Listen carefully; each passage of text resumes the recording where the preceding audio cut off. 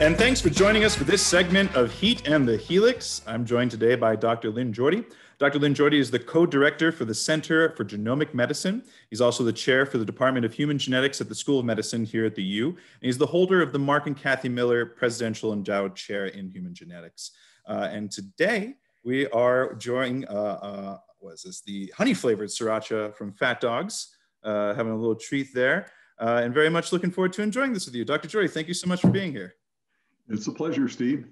Excellent. And hey, well, I'm I'm uh, glad that we get to have this. Uh, was it the the sweet uh, experience? This one we've had a lot of smoky and savory recently in the show. So let's try this uh, this new one out.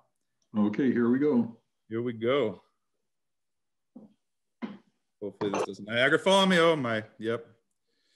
Yeah, that's a thin sauce. Cheers, sir. Okay, cheers.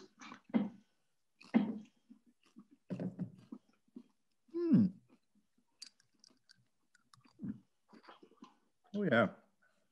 Goes nicely with a little bit of grilled chicken. Oh yeah, I bet. We're at level three now, so nothing too insane yet. You seem to be holding it well. well, Steve, I can still talk, so I think we're hey, okay. that's the litmus test. We're done. That's great. Perfect. Well, hey, I'm, I'm, I'm very happy you're here because we've we've talked um, to Lorenzo, Dr. Lorenzo Botto about the Penelope program. We have had a chance to talk to Dr. Capron about what CGM, Center for Genomic Medicine, is.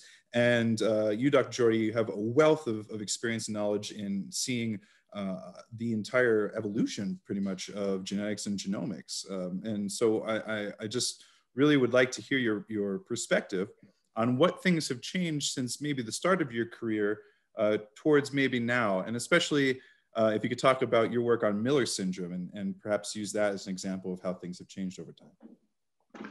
Sure. Well, Steve, I took my first human genetics course as an undergraduate back in 1973, so almost 50 years ago. The textbook was very, very well written, and I, I, I literally couldn't put it down. And I guess that's when I realized that human genetics was a good fit for me. I did my PhD thesis using blood groups like ABO and RH uh, and uh, something called protein polymorphisms, but these were um, very, very limited in terms of the information they could provide us. So at that time, the thought of sequencing a whole human genome with the tools we had back then would have been kind of like trying to build the Empire State Building with nothing but stone tools. It's just impossible. So I came to Utah in 1979. It was my first faculty position in the Department of Pediatrics in the Division of Medical Genetics. And at that time, uh, our tools were still pretty primitive. Uh, that meant that for most genetic conditions, we just had no way of uh, understanding the underlying cause because we couldn't sequence genomes. Now, in 1981, uh, I learned about Heather and Logan Madsen, two children who were in fact the first instance in which Miller syndrome had recurred in a family. Uh, there were only a few other cases known in the world. Uh, and of course, one of the things that we talked about at the time was whether this might be a genetic condition. But we had no way of knowing that. We had no way of actually identifying a gene that would cause Miller syndrome. Uh, and that remained the case for about three decades.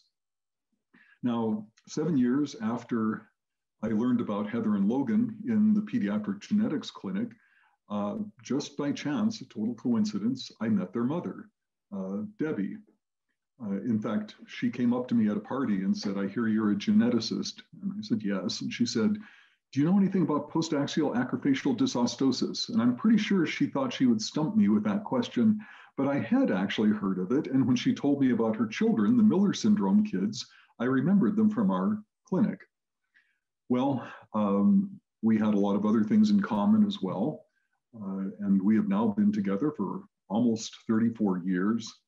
Uh, and something that, of course, always interested me was the cause of that condition in her two kids. It was always really troubling to her, to them, to not have an answer, to not know why this condition had occurred in them, uh, to not know what their risk would be of having more of have, having children of their own that would have this condition. Well, in about 2008, it finally became possible and affordable to start sequencing whole genomes. And I was working with a group that really wanted to sequence the very first human family. Um, one of the things that that would allow would be estimation for the first time of the rate at which human mutations occur, uh, passed on from parent to offspring. But we also thought, well, it would be really interesting to do this with a family that had a genetic condition or a condition that we thought was genetic, but where the gene had not yet been identified. Well, uh, Debbie's family, her two children and her first husband, were a natural choice for that exercise. Uh, we undertook whole genome sequencing of the four of them, uh, and they became, in fact, the very first family in history to have their whole genome sequenced. So uh, that uh, sequencing uh, and some of that work was done by a former postdoc of mine, Mike Bamshad at the University of Washington. Um, he did what's called exome sequencing, and it was that that pinpointed uh, the mutation uh, in a gene that actually causes Miller syndrome. So after 30 years of not having an answer, uh, finally, my wife, her kids, did get an answer to the cause of their condition.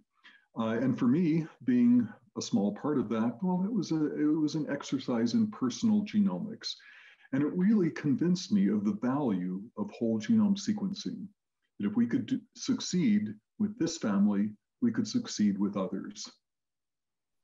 That's a remarkable story.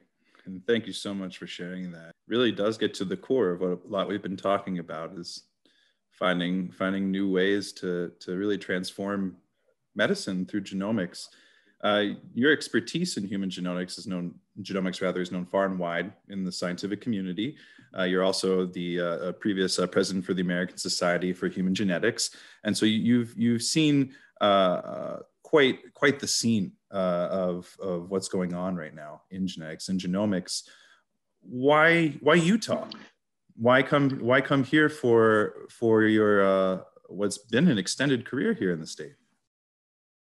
Um, yeah, uh, there's a single word answer to that question: families. Utah has the largest uh, collection of family data uh, in the Utah population database, we have more than 10 million people linked into very large pedigrees, some of them having thousands of people. And in some of those pedigrees, there is a substantial excess of a specific genetic disease. Uh, and not only do we have the data, but just as importantly, our Utah families are famously cooperative. When we approach them to participate in these studies, the great majority of the time, of the time, they say yes, they're happy to do it. Uh, and some of my colleagues who live in other parts of the country are astounded by the participation rates we see here in Utah. Uh, so without these families, uh, without the data, uh, without their extraordinary willingness to participate in studies, we couldn't accomplish what we do. Uh, but Utah, uh, that's one of the many reasons why this has been such a good place to do human genetics. Well, thank you for bringing up the point about the community here, because I mean, there's we take there's so many exciting things going on in the technology and in the science that it's it's really uh, easy to talk about them. Um, but the human aspect, the fact at the end of the day, we're talking about human DNA. This comes from people and collaborations with them. Um, I think is really something that uh, brings it full circle to mm-hmm. to uh, really the grassroots, the family, the community, the people out there we're trying to serve. And thank you so much for being a part of that history and for sharing yours with us today. Um, it's been really a pleasure talking to you. Pleasure to talk with you, Steve. And now I'll finish my chicken. Well, hey, yeah. And while while uh, uh, Dr. Jorde's uh, enjoying some hot sauce and chicken, thank you to all those out there who have supported so far and who will continue to support us for U Giving Day. We have more series coming up with more interviews, so we hope to see you there. And in the meantime, hope you're doing well, stay safe and healthy, and thanks again. Thank you, Steve. To learn more and hear the full interview, follow the audio only link in the description below.